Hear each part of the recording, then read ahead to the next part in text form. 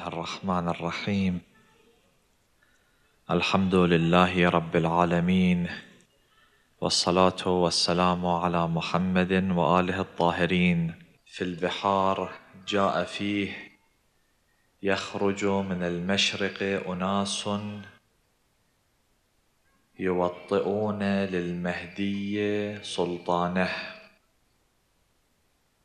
انطلاقا من هذا الحديث نتكلم في محورين. المحور الأول القضايا على نحوين. بعض القضايا ضرورية وبعضها نظرية. القضايا الضرورية هي القضايا البديهية التي لا يتوقف الإنسان عندها لا تحتاج إلى فكر إلى تأمل.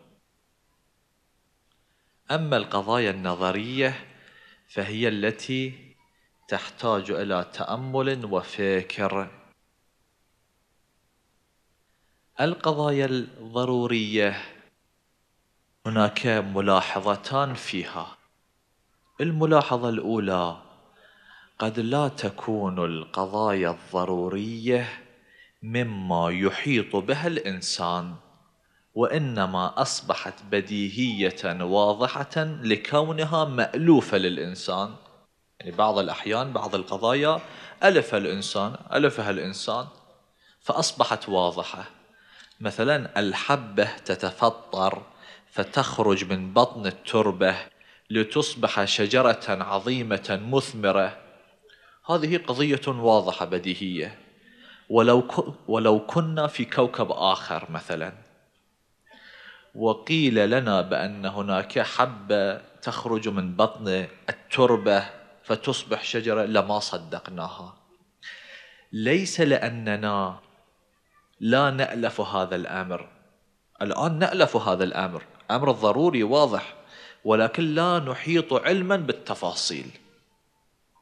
هذه الشمس العظيمة التي تعطي لنا الطاقة والحرارة والضوء هذه الشمس ألفناها في كل يوم يحترق من جرم الشمس 350 مليون طن هذا أمر طبيعي لأنه مألوف لنا هل أحطنا بالشمس؟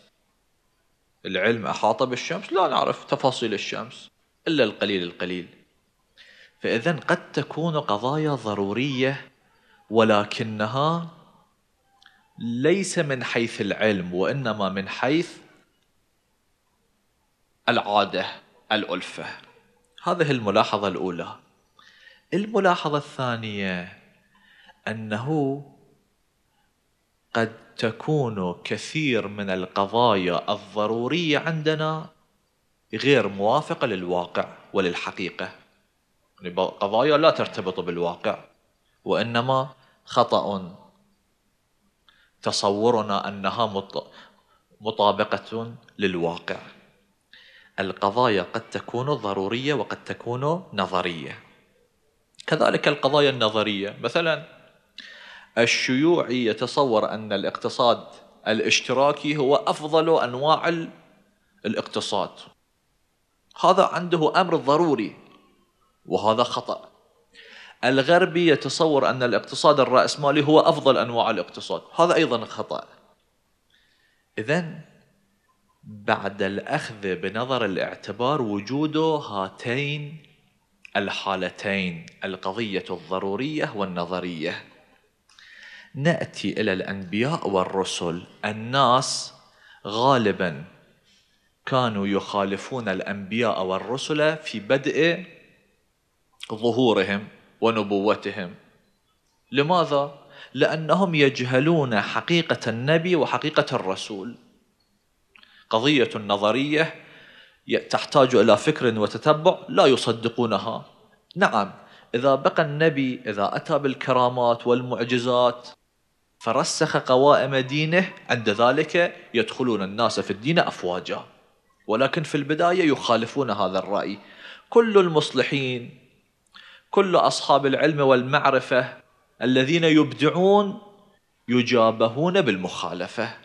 لذلك الأنبياء كانوا يأتون بالمعجزة. المعجزة التي تكون من سنخ يفهمه الأمة البشر المحيطين بالنبي. مثلا النبي إبراهيم سلام الله عليه كان مجتمعه مجتمع الإيمان. لذلك النمرود ادعى الألوهية. وصنع جنة وصنع نارا.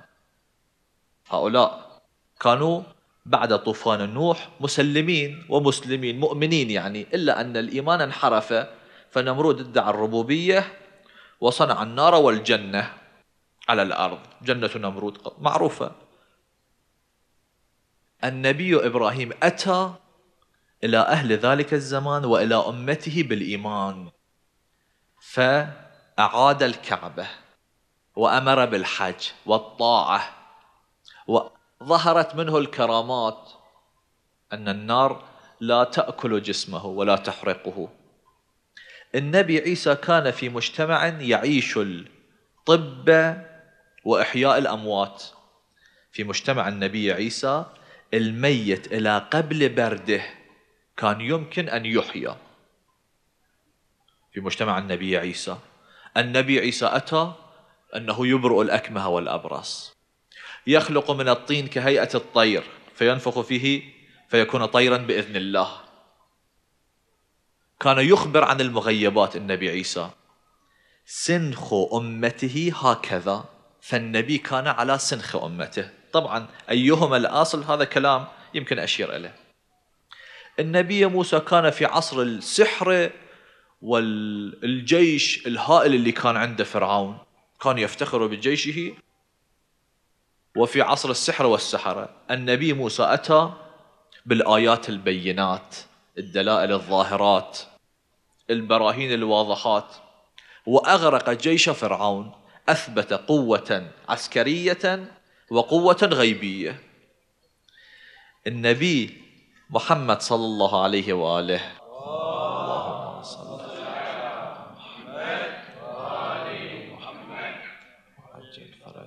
النبي صلى الله عليه وآله كان في عصر البلاغة والسيف.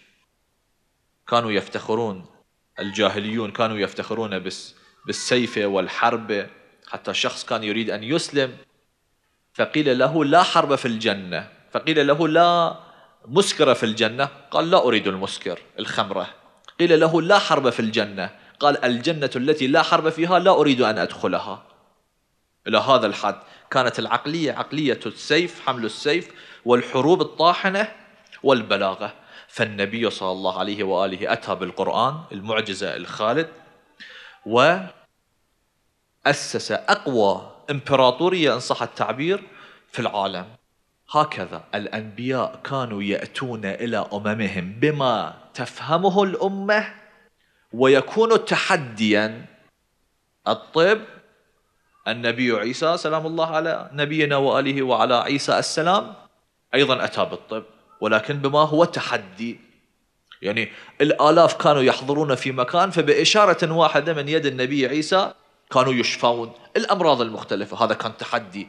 أي طبيب في تلك الفترة لم يكن يتمكن من ذلك. العظام الرميم النبي سلام الله عليه كان يحييها فتعود جسما كاملا وينفخ فيها الصور فيعود الرجل كما كان. بل من الطين يصنع كهيئة الطير. إذا الناس إنما خالفوا الأنبياء وشككوا فيهم لجهلهم. هذه النقطة الأولى. النقطة الثانية أو المحور الثاني. أنه كثير من الأحيان يرى الإنسان أن ارتباطه بأهل البيت سلام الله عليهم ارتباط ضعيف. كيف يمكن له أن يقوي هذا الارتباط؟ يخرج أناس من المشرق فيوطئون للمهدي سلطانه. هل نحن من أولئك الأناس أم لسنا كذلك؟ هذه نقطة. أنا أستحق أن أكون من الخيرة الذين يجتمعون حول الإمام المنتظر أم لا أستحق ذلك؟ هذه نقطة مهمة يجب أن يفكر الإنسان فيها. في رواية عن الإمام السجاد عليه أفضل الصلاة وأزكى السلام أنه قال لا يثبت عليه يعني على المهدي سلام الله عليه إلا من قوي إيمانه وصحت معرفته وسلم لنا أهل البيت ولم يجد في نفسه حرجا مما قضينا وسلم لنا أهل البيت. قوي إيمانه صحت معرفته لم يجد في نفسه حرجا مما قضينا ويسلم لنا أهل البيت أو وسلم لنا أهل البيت. إن تمكنا من أن نجمع في نفسنا هذه الخصال لأصبحنا من أنصار الإمام سلام الله عليه من أولئك الشيعة الذين يخرجون من المشرق. قوي إيمانه. عروة ابن مسعود. هذا كبير أهل طائف. كبير أهل طائف. فر من طائف أتى إلى رسول الله وآمن. بعد فترة قال لرسول الله أريد أن أرجع إلى طائف لأنذر أهلي أدعوهم إلى الإسلام.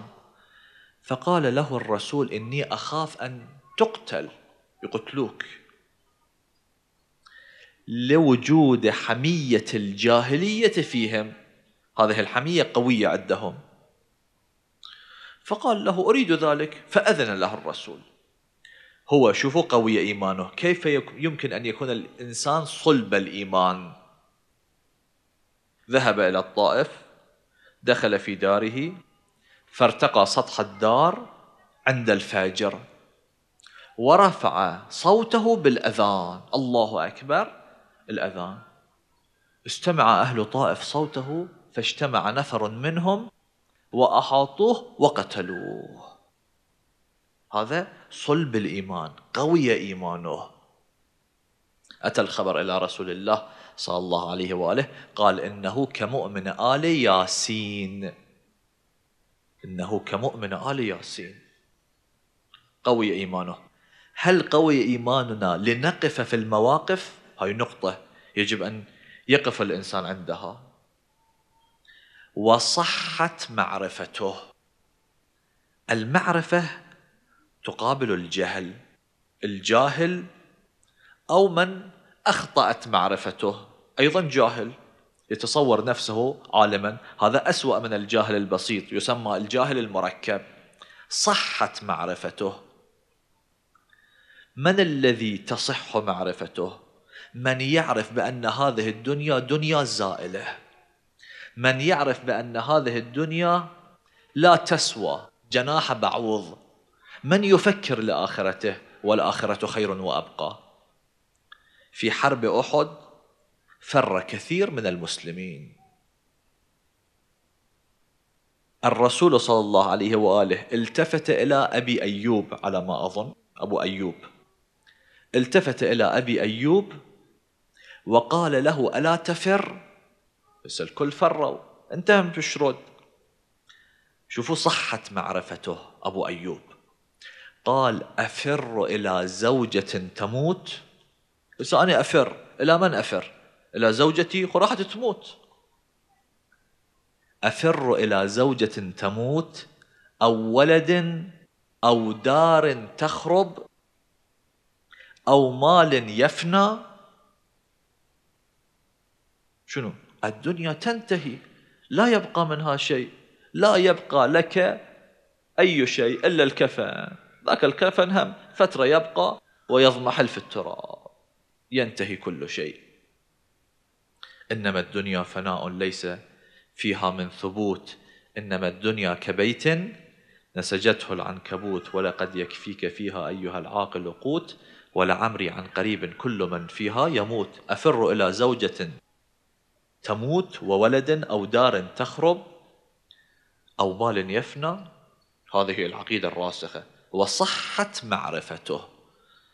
اللي يريد يرتبط بالإمام يثبت مع الإمام.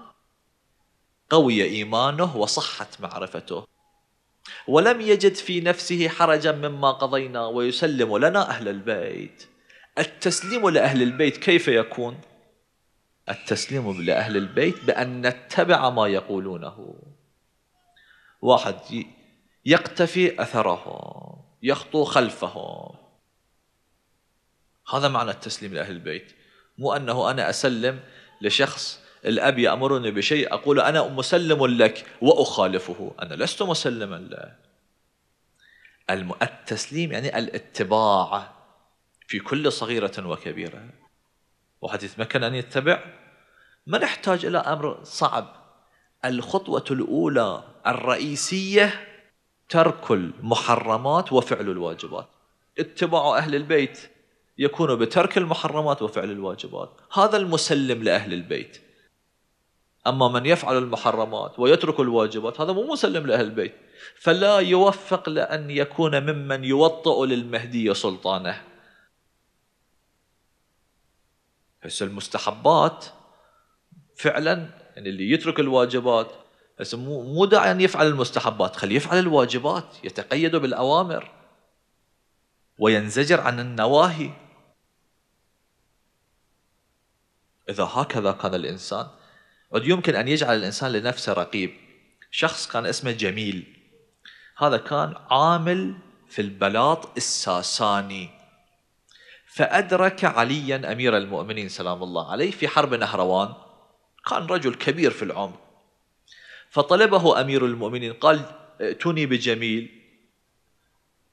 سأله أمير المؤمنين سأل جميلا قال كيف على المرء أن يكون؟ شنو رأيك؟ كيف على المرء أن يكون؟ فقال أن يقل أصدقاؤه ويكثر أعداؤه.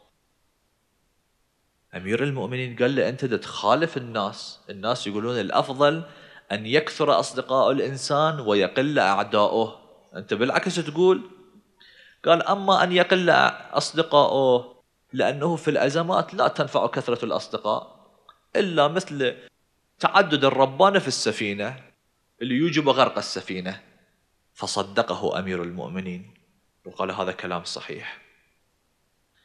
فقال له أما كثرة الأصدقاء كثرة الأعداء لأن الإنسان يحتاط من أعدائه فيجعل مواقفه سليمة لا يخطأ في قول في فعل في عمل في كتابة.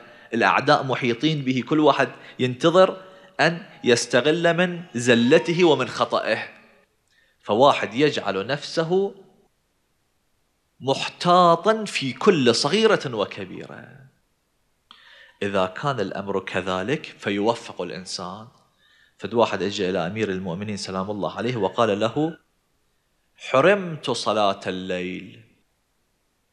أجابه علي عليه السلام قيدتك لقد قيدتك ذنوبك. ليش أنت محروم من صلاة الليل؟ لأن الذنوب قيدتك. سلب منك التوفيق في ذلك. إذا واحد حقيقة يريد أن يكون من أنصار الإمام الحجة سلام الله عليه ممن يوطئ له سلطانه عليه أن يسعى أن يبتعد عن الذنوب وأن يفعل الواجبات. كخطوة أولى وهي الخطوة الرئيسية. إذا صار ذلك نرى أن لطف الإمام يشملنا. نرى أن نكون من الممهدين لظهور الإمام إن شاء الله. أهل البيت كرماء حقيقة. أذكر هذه القضية وأختم الكلام. شخص يسمى بأبي حسين. أبو حسين. يقول كنت فقيرا وأنا في أشد الحالات في الفقر. وكانت لي علة مرض في الرئة يخرج الدم من فمي. هذا المرض كان يأذيني؟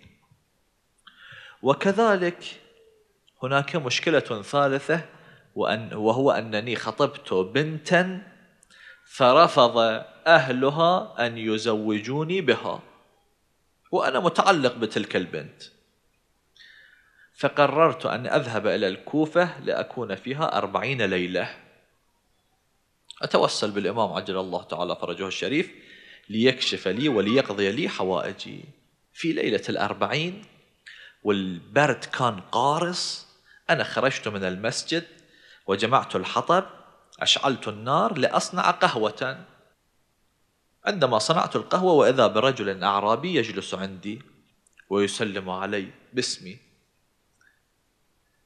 يقول لي يا أبو حسين يا أبا حسين ما الذي تريده؟ يقول أنا سألته أنت من؟ من أي عشيرة؟ من عشيرة كذا عشيرة كذا فأجاب بالنفي. فقدمت له قهوة فشرب منها شيئا وأعطاني الباقي قال اشرب الباقي. فشربت الباقي من القهوة. وقال له ما بك؟ قلت أنا هنا أطلب من الإمام عجل الله فرجه الشريف أن يكشف عني الفقر وأن يشفيني من علتي هذه وأن أوفق لأن أتزوج بتلك الفتاة التي أرغبها. فقال له هذا الأعرابي اللي ظهر أنه الإمام سلام الله عليه قال له أما الفقر فيستمر معك. بس البعض يمكن هو في فقر في مصلحته أن يكون فقير. إذا يصير غني يطغى يخرج عن طوره. نقل أنه بعض المؤمنين والمتدينين عندما ذهبوا إلى بعض البلدان الأخرى تغيرت حالتهم 180 درجة. نسى أنه كان مؤمنا ملتزما. نست تلك المرأة التزامها وإيمانها وكل تفاصيل الدين. وهذا ما كان من مصلحته أن تنتقل إلى ذلك البلد. هذا مو من مصلحته أن يصير غني. فقال له ذلك الأعرابي قال أجابه الإمام قال له أما الفقر فيستمر معك. فواحد لازم يشكر الله على يطلب من الله يدعو الله عز وجل ولكنه يعلم بأن ما قسمه الله هو الصلاح له. وأما الزوجة فتتزوجها البنت إن شاء الله. وأما المرض فقد زال عنك واختفى.